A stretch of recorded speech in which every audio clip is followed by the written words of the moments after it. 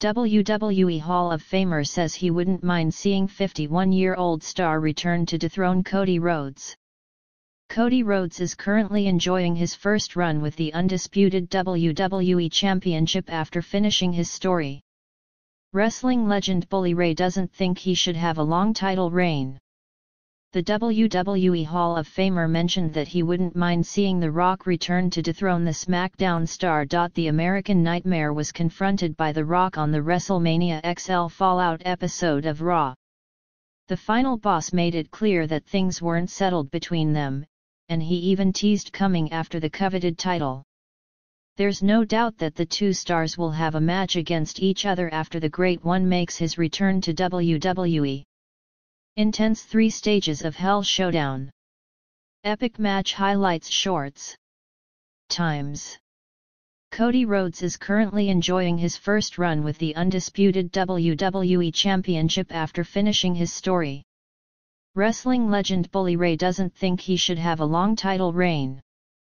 The WWE Hall of Famer mentioned that he wouldn't mind seeing The Rock return to dethrone the SmackDown star. The American Nightmare was confronted by The Rock on the WrestleMania XL Fallout episode of Raw. The final boss made it clear that things weren't settled between them, and he even teased coming after the coveted title. There's no doubt that the two stars will have a match against each other after the Great One makes his return to WWE. On the Busted Open podcast, Bully Ray said he doesn't have an issue with The Rock coming back and defeating Cody Rhodes, as the latter will have to chase the title again. I would not even mind The Rock taking that strap off of Cody and making Cody chase again. I don't believe that Cody needs to have some kind of credible, long run a la Roman or anybody else. Cody's story was that of the underdog who fought through, who fought the final boss, who overcame the final boss, and finally Roman Reigns.